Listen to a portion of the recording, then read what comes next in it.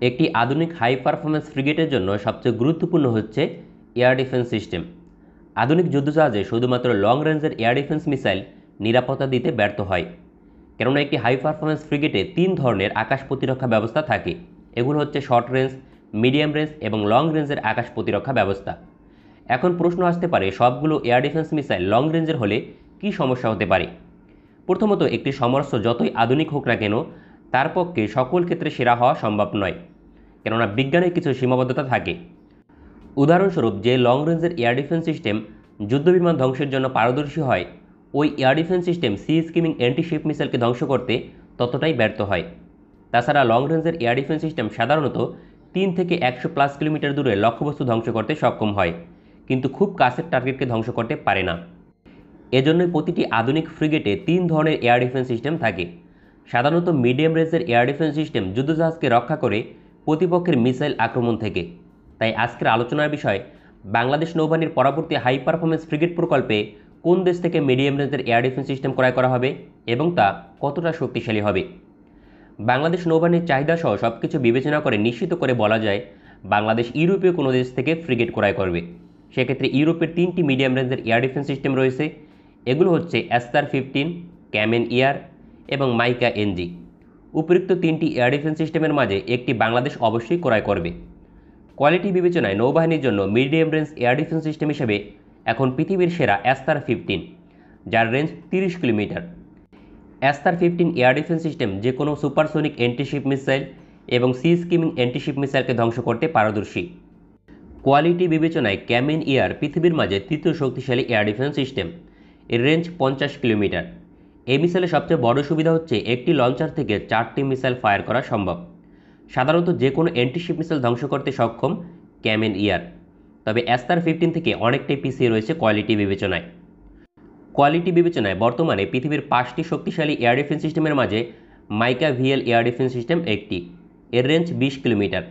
সাধারণত C skimming antiship missile ধ্বংস করতে পারদর্শী এই এয়ার ডিফেন্স সিস্টেম তবে বাংলাদেশ যেহেতু ফ্রিগেট প্রকল্পের কাজ শুরু করতে আরও কয়েক বছর সময় নেবে, তাই তালিকায় যুক্ত হবে নতুন একটি এয়ার ডিফেন্স সিস্টেম যা ফ্রান্স তৈরি করতেছে, মাইকা এনজি, যার রেঞ্জ চল্লিশ plus kilometre. Hypersonic antiship missile সহ যে কোনো মিসাইল ধ্বংস করতে পারদর্শী হবে। মূলত মাইকা ভিএল এবং অ্যাস্তার ফিফটিনকে রিপ্লেস করার জন্য MICA NG air defence system তৈরি করা হচ্ছে। ইউরোপীয় মিসাইল উৎপাদনকারী প্রতিষ্ঠান এমবিডিএ জানিয়েছে দু হাজার চব্বিশ সালে সার্ভিসে আসবে MICA NG air defence system. ইতিমধ্যে মিশর তাদের Meko A two hundred frigate প্রকল্পের জন্য মাইকা এনজি এয়ার ডিফেন্স সিস্টেমের চুক্তি স্বাক্ষর করেছে। সেক্ষেত্রে বাংলাদেশের জন্য তৃতীয় অপশন হিসেবে মাইকা এনজিকে বিবেচনা করা সম্ভব। বাংলাদেশের চাহিদা এবং মূল্য বিবেচনায় বাংলাদেশ ক্যামেন ইয়ার অথবা মাইকা এনজিকে নির্বাচন করবে এটা এক প্রকার নিশ্চিত।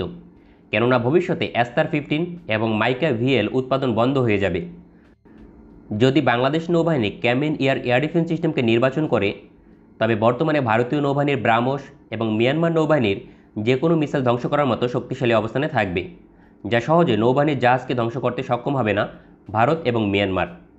তবে ভবিষ্যতে বাংলাদেশ নৌবাহিনীর হাই পারফরমেন্স ফ্রিগেট ভারতের হাত থেকে নিরাপদ থাকবে না যদি ক্যামেন এয়ার এয়ার ডিফেন্স সিস্টেম যুক্ত করা হয়। কেননা ভবিষ্যতে Bharat BrahMos two hypersonic antiship missile তাদের নৌবাহিনীতে যুক্ত করতে যাচ্ছে যার গতি হবে ম্যাক সেভেন, অর্থাৎ হাইপারসোনিক অ্যান্টিশিপ মিসাইল, যা ঠেকাতে ব্যর্থ ক্যামেন এয়ার এয়ার ডিফেন্স সিস্টেম। দু সালের পূর্বেই ভারতীয় নৌবাহিনীতে অন্তর্ভুক্ত হবে ব্রাহ্মস টু হাইপারসোনিক মিসাইল।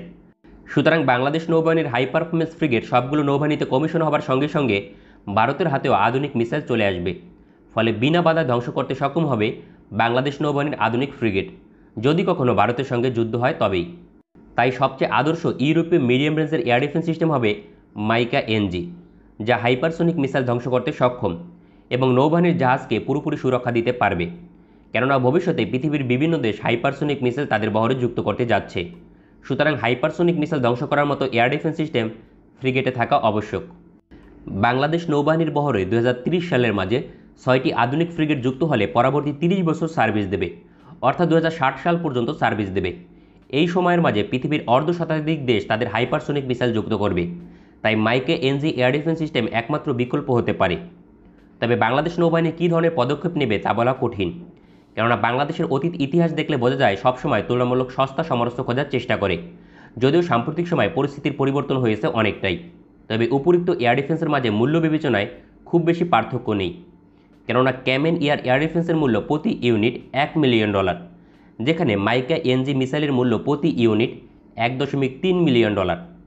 সাম্প্রতিক সময় মিশরীয় নৌবাহিনী একশো পঞ্চাশটি মাইকে এনজি মিসাইল অর্ডার করেছে, যার মূল্য ছিল দুইশো মিলিয়ন ডলার। সেক্ষেত্রে বাংলাদেশের ছয়টি ফ্রিগেটের জন্য প্রয়োজন তিনশো মিলিয়ন ডলারের এয়ার ডিফেন্স মিসাইল সিস্টেম, যা খুব বেশি ব্যয়বহুল নয়। বর্তমান সময় সমরাস্ত্রের সংখ্যা দেখে নয়, বরং কোয়ালিটি দেখে বিবেচনা করা হয় ওই দেশ কতটা শক্তিশালী। কেননা বাংলাদেশ যদি ছয়টি ফ্রিগেটে ক্যামেন এয়ার এয়ার ডিফেন্স সিস্টেম যুক্ত করে, তবে ভারতের থেকে নিরাপদ থাকবে না। সুতরাং তা ক্রয় করে উল্লেখযোগ্য কোনো লাভবান হবার সুযোগ নেই। তার পরিবর্তে আধুনিক ফ্রিগেট শক্তিশালী এয়ার ডিফেন্স সিস্টেম যুক্ত করে যদি ফ্রিগেটের সংখ্যা কমও হয়, তবুও বাংলাদেশ নিরাপদ থাকবে। তাছাড়া বাংলাদেশ নৌবাহিনীর যে বাজেট, তা দিয়ে মিডিয়াম রেঞ্জের এয়ার ডিফেন্স তো বটেই, লং রেঞ্জের Aster forty five air defence সিস্টেমও চাইলে যুক্ত করা সম্ভব। কিন্তু এজন্য প্রয়োজন নৌবাহিনীর সদিচ্ছা। সাম্প্রতিক সময় বাংলাদেশের অর্থনীতি বড় হয়েছে এবং সামরিক খাতে ব্যয় বৃদ্ধি করার প্রয়োজন, যা বিভিন্ন দেশের রাষ্ট্রদূতগণ বাংলাদেশকে পরামর্শ দিচ্ছে। কারণ মিয়ানমার কিংবা ভারতের একটি আক্রমণ বাংলাদেশের অর্থনৈতিক মেরুদণ্ডকে ধ্বংস করতে পারে। তাই আগাম প্রস্তুতি গ্রহণ করার এখনই সময়। এই ধরনের সামরিক বিষয়ে নিয়মিত ভিডিও পেতে চ্যানেলটি সাবস্ক্রাইব করে বেল আইকন অন করে রাখুন। ভালো থাকবেন সবাই। দেখা হবে পরবর্তী কোনো ভিডিওতে।